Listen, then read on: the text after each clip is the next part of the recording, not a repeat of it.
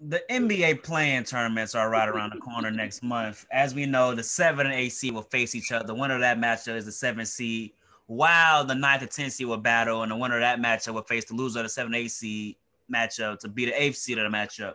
And Luka Doncic of the Dallas Mavericks was not too happy about that. Uh, in a quote, he said, "I don't understand the idea of the play-in. You play 72 games to get in the playoffs, then maybe you lose two in a row and you're out the playoffs. I don't see the point of that."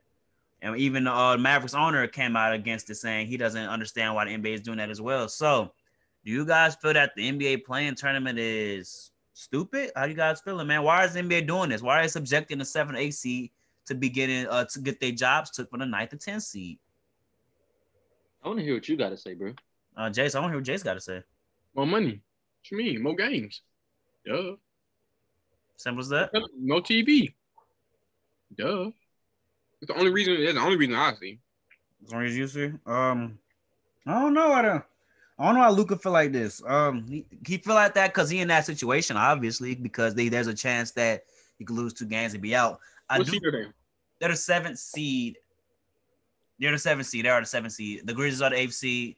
Warriors nine, Spurs ten, Pelicans are eleven. So like, is it like that means that they essentially have a more extended playoffs? Basically, I I feel like the I feel that NBA should have uh, allowed the um the loser of the seven and eighth uh, eighth game. So if when they face the winner of the ninth and tenth game, they should be best two out of three. But the play, the playoff team already should have one game. So like the the the, the winner, the loser, I mean the winner of the ninth and tenth seed has to beat them twice rather than beating the ones to get their spot. That would make the most logical sense in my Yeah. opinion. I don't know, bro. I don't understand what they was thinking. Well, I do understand what they were thinking more money, but like from a game, like player wise aspect, I don't understand why they did that. I just think they could have went about it better considering that this season was rushed to That's start. true. In addition to that, um, I just think they could have went into it more open minded because if the Lakers were in a position to where they'd be closer to the A seed, and of course they have too much talent, but still, you got to think about it from that aspect. Then they're gonna be hurting because, as we see, they already have guys that are nicked up. So I just don't like it from the injury standpoint. We're already seeing guys sitting out back to backs because, you know, it's so much concern.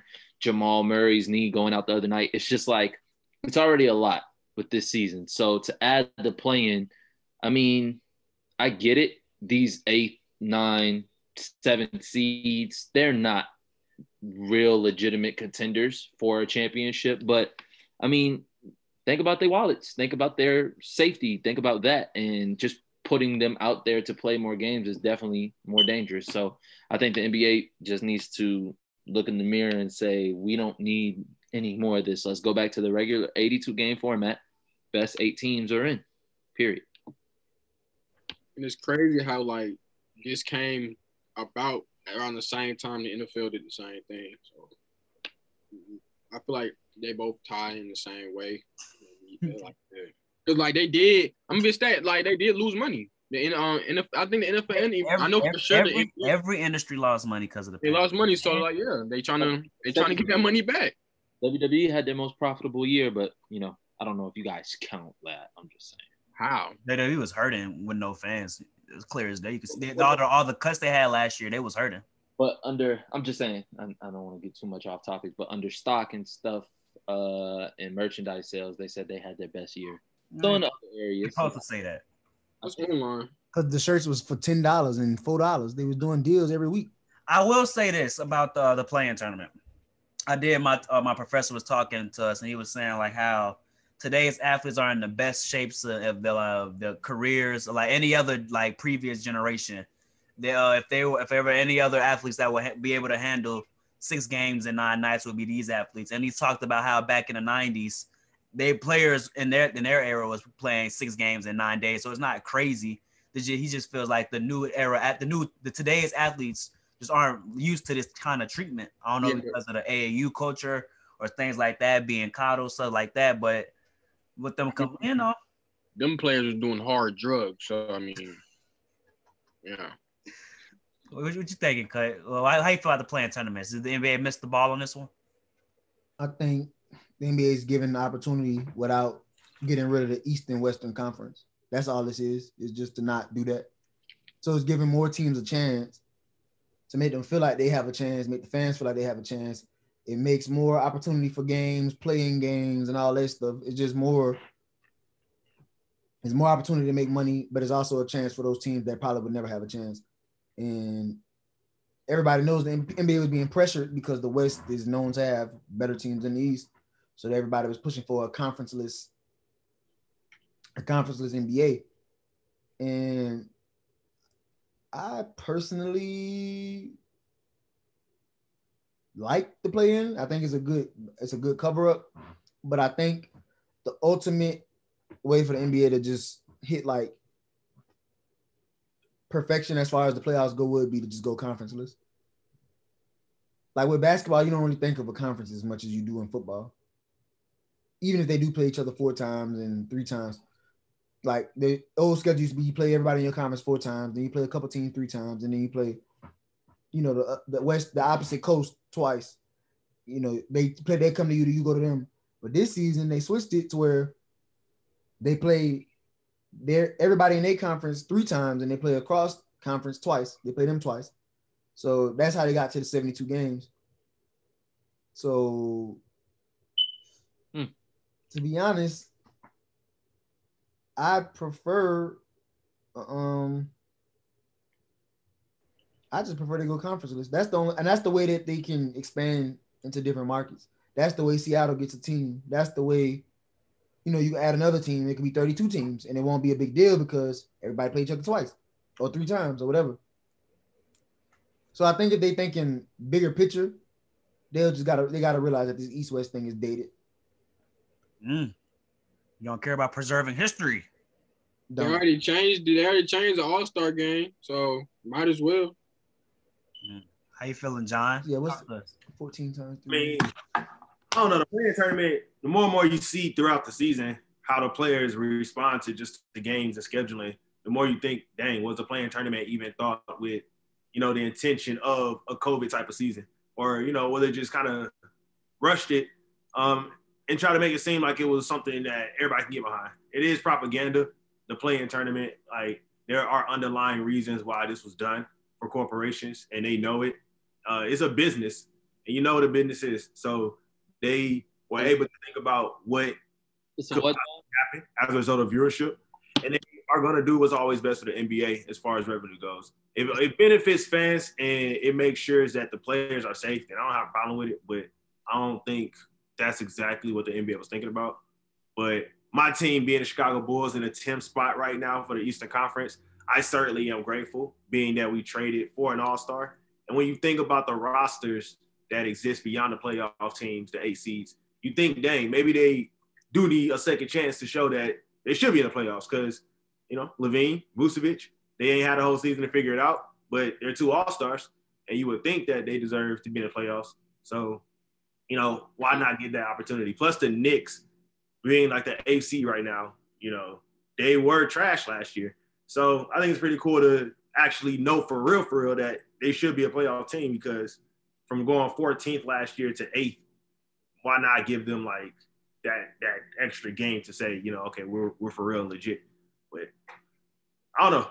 That's just how it works. Unfortunately, players are getting hurt, so you know, we'll just see how the players respond. And if they need to make modifications, I'm sure they will, like for the next year. I'm sure the games will be fun, and we seen it last year with the uh, Blazers and Grizzlies in the play-in tournament in the bubble. That game was fun to watch. So I think that you're trying to recapture that glory, just just with um just in that just in like actual stadiums, uh, rather be in Portland or the current uh, ninth and tenth seed of the uh, West is the Warriors and Spurs. So in San Antonio or, or Golden State, San Fran. So I think they're trying to get that magic going, have that hype going because there's a growing belief that you know the uh, NBA playoffs. I mean, regular season doesn't matter. So just having meaningful games at the end before the real playoffs start is just what they're going after, probably. John didn't hear me when he was talking. I said he said it's a business, and I said it's a what? Just what? It's a business. Oh yeah, it is a business. Hey, well, that was so last night with fire, bro. We You got watched to it yet, Jace? Hey T, you how long you been playing me? You so you watched it. Like, Shit, there. Well, he had to get them bodies off, man. Uh, we gonna talk about that a little later. Hold on, hold on, hold on, hold on. Uh, Y'all gotta y'all gotta be caught up. uh, uh, uh, last last round I play in, I think the eighth and ninth and tenth seeds like they're not too far removed. It ain't like it's a crazy amount of games back that the tenth seed is from the eighth. And I think if you're a seventh seed and you have a nice record, like I think the current seventh seed right now is the Mavericks. I think. Yeah. like the Grizzlies. yeah.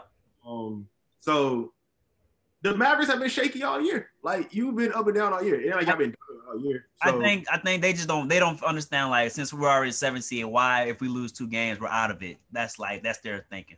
Luka's sounds scared to me. Yeah, he sounds scared. Really do. He act like he played in the regular playoffs. He only played in the regular playoffs one time. He only played in it once. Luka what- ain't You scared. don't have an opinion. Luka ain't Luka's scared. a hooper. Hoop, Luka gonna hoop. He's scared about Porzingis. He's scared about bruh. Because he don't know if he gonna show up or not. That is very true. So look, they will play the Grizzlies first. If they lose to Ja and Jaren comes back and they and they start balling for real, and anyway, I'm um, not to cut you off, John. They the Grizzlies was supposed to beat them last night. They were supposed to beat them last night. I picked the Grizzlies to win last night. That shot was, I mean, yeah, he, it- he's good at making lucky. You're not lucky, but clutch shot. He called it lucky. He called it lucky. Luka called it lucky. yeah, he knew, it. he knew it. But then after that, they would end up playing the Warriors or the Spurs, whoever win that I game. like the, Warriors. I like the Warriors. I like the Spurs. I like the Warriors number one, Pelicans number two over any of them teams. Pelicans got to make it first. I want to believe the Pelicans, bro. Pelicans got to make it first. Seven last night. Bro, we lost to the Knicks, bro, last night. Knicks are not garbage. That's like yeah, bro. It was the way we lost to them, bro. You know? And the and the Curry did that against the Thunder. Let's let's Yeah. come on, guys. Let's He be. did, but but they put 147 up. It's the Thunder. yeah. I understand They that, were but they still professional athletes, bro. Like, Uh, they, that team is a team full of rookies. Shai didn't even play. Shai didn't even play right now. lost by 58 you without. act like you act like the Oh, the Thunder like beat a- them to 58. That was the Thunder that No, beat them. no, that wasn't. I'm just saying. Oh, then it don't matter. Without Curry, they lost by 58, and then he comes back and they beat the team by 30. That's not That MVP. wasn't his That's first game back.